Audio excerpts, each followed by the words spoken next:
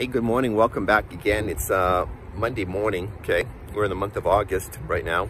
So let's talk again about the very basic fundamentals, okay, on the tax sales. I've had some people talk to me, call me, text me, email me. And let's go into this, all right? Now, remember, if you own a, a property, you know, a house, apartments, condo, um, commercial buildings, you know, gas stations, anything that's connected to like land, you could say, all right? You're gonna basically pay property taxes, all right? You got vacant land, you know, anything that's connected to land, all right? There's gonna be property taxes that are gonna be owed on the property. So try to remember that very basic, basic, basic thing. If you own real property, that's what they call it, real property, which is land, okay?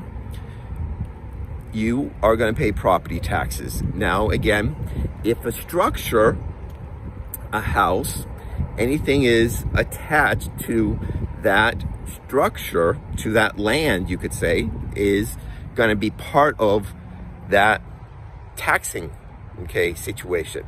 Now, remember, very important, okay, you gotta be careful because a lot of times there's some mobile homes and there's some houses and other commercial buildings that are not attached to the land. So when you're buying the, the land, that structure is not attached, okay? So you got to do your research to make sure that that property is attached, okay? So I want to give that video to you today, which is very basic, very elementary, okay? But we got to start from the fundamentals, all right? We got to start from the very basics, okay? If we're going to be an expert in this field, all right? So that's my big tip for you today, okay? Remember, real property, all right? If you own it, you're going to be taxed by the government. Okay. All right, guys. Hope you liked the little video. If you do, please like us, share the video, consider subscribing to us. Until next time, we'll see you then.